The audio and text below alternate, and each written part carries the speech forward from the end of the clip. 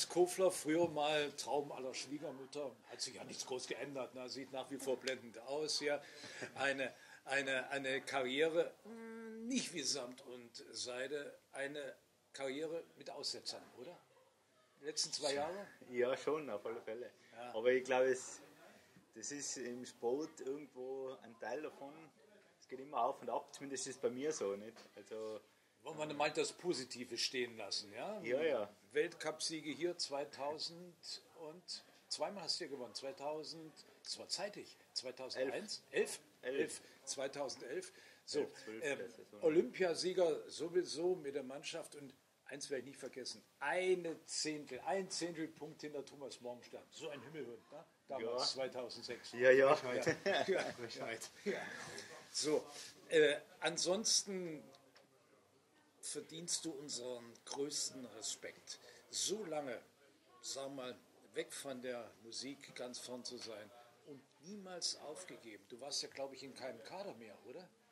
Ja, Kaderstatus habe ich schon gehabt, ja. aber war natürlich, wenn ich jetzt die letzten Jahre anschaue, immer wieder mal so an der Kippe zum äh, Continental Cup und irgendwie ist mir trotzdem immer wieder gelungen, dass ich halt im Weltcup starten kann und, und dass ich dann schlussendlich immer versöhnt aus der, aus der Saison ausgegangen bin, zumindest so, dass ich genug Motivation für die neue gehabt habe.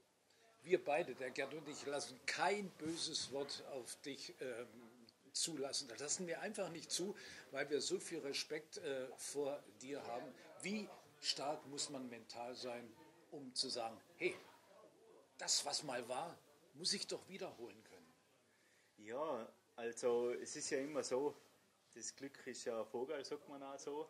Und man kann das Gefühl beim Skispringen ähnlich nicht festhalten. Das ist dann äh, immer, bei mir zumindest ist es so, dass das immer einen Wellenverlauf hat, wo man, äh, ja, wo man den Kern, um das, was es geht, dann einmal besser spürt und dann einmal weniger gut spürt. Und die Sache ist, ist das, die Kunst beim Skispringen, ähm, die, die Freiheit und das, das Gefühl ausleben zu lassen. Und ähm, ich habe es mit allem probiert, erzwingen, Brechstange, aber das ist, das ist halt so, das, das äh, lässt sich in, in dem Sport nicht, nicht erzwingen. Aber die Hartnäckigkeit zahlt sich aus. Der Gerd ähm, ist ja der beste Experte, den Eurosport je hatte dass sie Stimmt, das haben sein hatte. lassen. Hatte. hatte, hatte. hatte, hatte. Und ähm, ich weiß es nur ganz genau, wenn du dran warst, sagte hoffentlich, hoffentlich mit dem rechten Ski und hoffentlich ja. Also äh, der, der kennt dich ja nun auswendig. Ja. Schwierig war es bei Turbulenzen, da habe ich immer Muffe gehabt, wie man so schön sagt. Ja, es äh, war ziemlich lang so, dass ich beim Fahrrad Probleme gehabt habe es wird jetzt äh, immer besser oder im Sommer ist auch immer sehr stabiler geworden. Auch wenn man das angeschaut hat, Tchaikovsky und so, ist, ja, ist, ist auf jeden Fall vorwärts gegangen. Ich habe heuer sehr hart trainiert, auch mit Legal Flow habe ich da versucht, einfach die Technik neu aufzubauen und äh, ein neues Gefühl zu entwickeln, auch ein bisschen innovativ zu sein von, äh, von der Vorstellung her, wie ein Sprung ausschauen soll. Und an dem haben wir sehr hart gearbeitet. Und ich bin, ich merke es immer noch, ich bin immer noch im Prozess. Also die letzten Jahre stecken tief drinnen. Ja. Äh, das eingeschliffene Muster ist, ist ganz schwierig zum, zum Handeln. Aber ich merke, dass der, dass der Weg stimmt. Ich habe äh, im Herbst gemerkt, das fügt sich, das Bild. Und ich kann da das Vertrauen einpacken. Und das Vertrauen ist eins halt doch vom Wichtigsten beim Springen. Ja. Kann man das so formulieren, dass selbst ein so großer wie Andreas Kofler quasi nochmal von vorn angefangen hat? Kann man schon sagen. Also ein gewisser Teil von Erfahrungen und so bleiben ja, aber ähm, wenn, man, wenn man nicht gewillt ist, wirklich einen neuen Weg zu gehen, nachher äh, wird man irgendwo stehen bleiben. Und das Ziel war ja schon irgendwo neu anzufangen, das Feld wieder von hinten aufzurollen. Und ja, äh, es war sehr viel Schweiß drin in dem Ganzen, aber äh, so wie es jetzt war, mit dem Start in, in, in Kusamo und in Klingenthal, ähm, hat mir schon sehr gut getan und habe eine riesen Freude damit gehabt, da wieder in die Top 10 reinzuschnuppern und ich merke es, es ist noch nicht Ende der Fahnenstange und da versuche ich wieder hinzukommen. Hoffentlich kommst du an das Ende der Fahnenstange.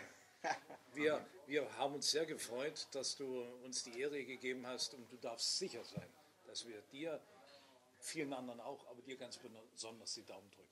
Ja, ich bin mir auch sicher, dass äh, die Leute, die Zuschauer und äh, dass das gute Karma mich am Laufen haltet und ich freue mich natürlich, wenn ich auch dem Sport in einer gewissen Weise etwas zurückgeben kann, weil mir hilft er und ich bin froh, dass ich auch äh, ein Teil von dem Ganzen sein kann.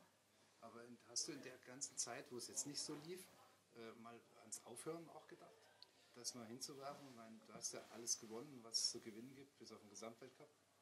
Naja, es, ähm, es gibt schon Phasen, wo man einmal richtig zweifeln anfängt und wo man richtig down ist mit dem Ganzen, wo man sagt, ja, da hat man einen riesen Brocken vor sich und man weiß wirklich nicht, was man jetzt tun soll. Und ähm, ausgesprochen habe ich es nie, aber es waren natürlich schon Situationen, wo man dann sagt, und jetzt mag ich einfach nicht mehr, jetzt muss ich mir was anderes einfallen lassen und, äh, und schaue, dass ich mir den Abstand zusammenbringe. Aber von meinem innerlichen Drang her ist halt immer noch so. Du warst noch nicht fertig mit dem Nein, dass ich einfach gemerkt habe, hm, da wäre ich jetzt auch nicht zufrieden. Wenn ja. ich jetzt sage, jetzt lass es, dann, dann geht mir was ab.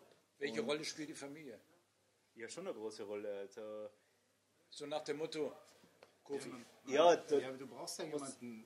Was, was da schön ist, ist, dass man halt einfach, egal wie es ausgegangen ist, ob es jetzt gut war oder schlecht war, du kommst heim und, äh, und da wird das gar nicht auf die Waagschale gelegt. Und ich glaube, dass das ein ganz wichtiger Part ist, dass du dann Freiraum hast und, und du einfach schaffen kannst.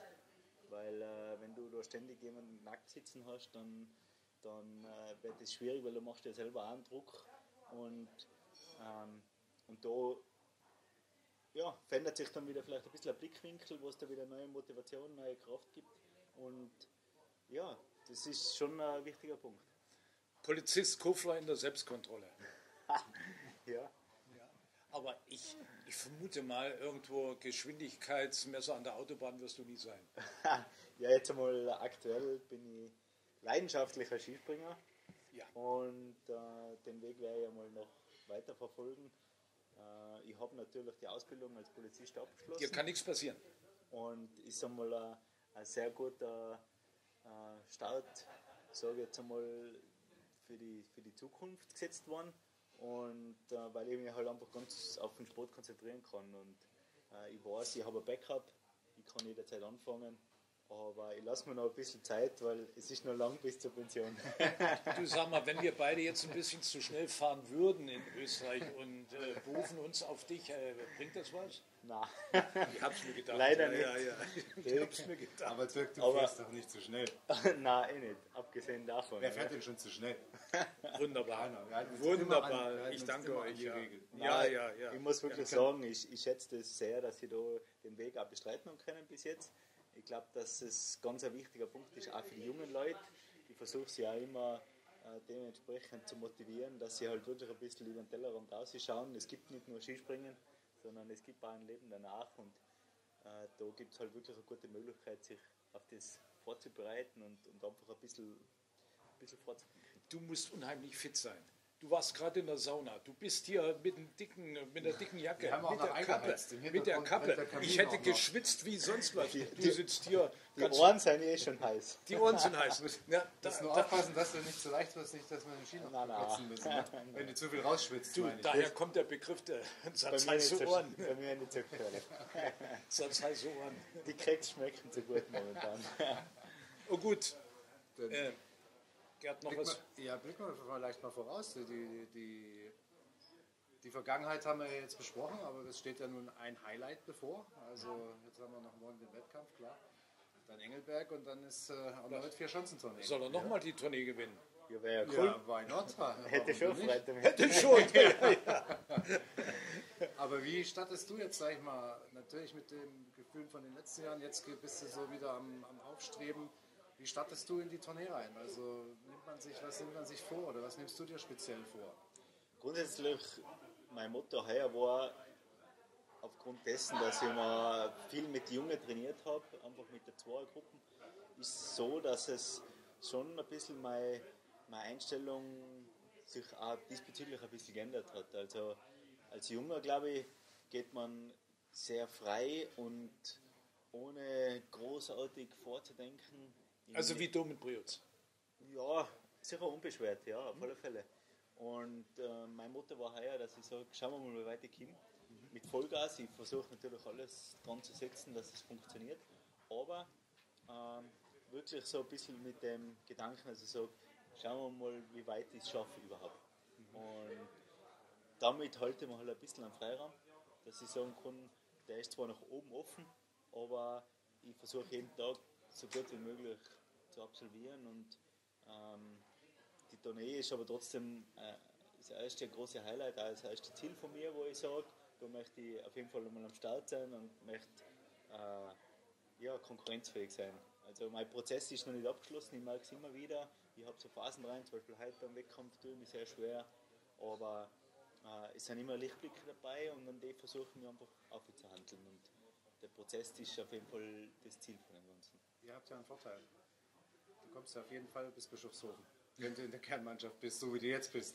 Ja, in ja. Deutschland ist ja immer der Cut dann quasi nach Garmisch, weil man weiß dann nicht, ob man bis Bischofshofen mitfahren kann, wenn man nicht ganz vorne mitspringt. Das Ziel ist schon, dass ich natürlich meine Aufgaben äh, anständig mache und anständig erfülle. Und äh, das bei jeder Station sind es immer leichte Änderungen, wo ich sage, wo muss ich, wo muss ich hin von der technischen Seite.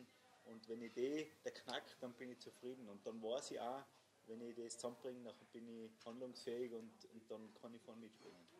Hast du einen Knackpunkt, Chance, welche dir nicht so liegt von den Vieren, wenn du einen Ausblick auf die Tournee? Äh, Sag's nicht. Also die Tournee, muss ich sagen, da sind alle vier Chancen richtig cool, weil sie so unterschiedlich sind. Also ich muss sagen, da tun wir da jetzt noch viel schwerer. Ja. Also, ist ja schön, dass das mal ein aktiver Athlet sagt. Ich habe es ja auch häufig gesagt, wir hatten ja die Zeit, dass alle so gesagt haben, ja, die Chancen bei der Tournee sind alle gleich geworden, bis auf Bischofshofen. Ja, sie sehen gleich aus, aber wenn du auch sagst, sie sind eigentlich, sehen sie, sind, haben sich vielleicht angenähert zu früher, aber trotzdem sind es noch eigene Charakteristiken. Finde ich schon, ja. Man merkt, dass man bei der Tournee ist. Und, und das ist auch cool, das muss ich wirklich sagen. Ich habe schon ein paar Veränderungen für die Chancen gesehen, aber wie gesagt, den Charakter, der bleibt, gleich wie in Oslo oder auf solche Chancen, die was halt wirklich so Legenden sein, da merkt man, man ist da trotzdem auf der alten Schanze irgendwo. Okay, jetzt frage ich mal die Schanze, die du nun wirklich am liebsten mag, magst. Also wenn ich mir es aussuchen kann, dann äh, würde ich mir wahrscheinlich nochmal das beste Resultat am Parisl wünschen, weil es erstens meine Heimschanze ist, zweitens ist äh, sicher eins von den tollsten Springen meiner Meinung nach, einfach durch den Kessel, durch die Atmosphäre. Da kriege ich jetzt ja ganz laut, wenn ich dran denke und deswegen sage ich, da nehme ich in Pagisl die Chance her. Das äh, hat auf jeden Fall für mich die, die, die höchste Priorität. Weißt du, was du jetzt machst? Ist aber am schwierigsten. Na, weißt ich du, was du jetzt machst als Tiroler? Jetzt redest du über den Berg Isel und jetzt verfällst du auch wieder in deinen Dialekt, wenn ich das mal so Oh ja. anmerken darf. Ja, der gut. Dirk, Ja, der ja. Dirk ist ein guter Indikator für die Zuschauer auch zu Hause. Weil, Sprich weil Deutsch gefallen, damit ich euch recht verstehe. Bei mir fällt es nicht so sehr auf. ich Ja, verstehe es ja, noch. ja. Aber Ja, kann ich immer verstehen. wieder ein. Die Emotionen, die kommen da natürlich raus. Natürlich. Aber Natürlich, ich Ja. verstehe auch. Ja. ja, ich versuche deutlich zu sprechen. Alles klar. Das wird funktionieren. Naja, jetzt brauchst du dich auch nicht mehr anstrengen, jetzt sind wir gleich am Ende. Ja. Sehr gut. So, mein lieber Andreas, wir danken dir mit einer Träne im Knopfloch. Geld kriegst du keins. Das passt. Ja, das passt, genau. Und äh, wir wünschen dir wirklich alles, alles Gute, damit das auch festgeschweißt ist, was du dir jetzt wieder erarbeitet hast. Und dann lass es raus und wir freuen uns mit dir. Ja, danke. Als Gage bin ich mit euren Daumen zufrieden. Das äh, muss ich sagen, das, das passt perfekt, weil ich sage immer, jeder Daumen zählt. Und wenn ich da wieder vier mehr habe, das ist Du, äh, vier Daumen sind vier Tourneestationen. Ja, super. Oh, das ist vier. Was haben wir jetzt gemacht? Na, Ja, das passt. na dann, setz es um. Ja, Okay, super. danke Andreas Kofler. Ja, danke. Und tschüss.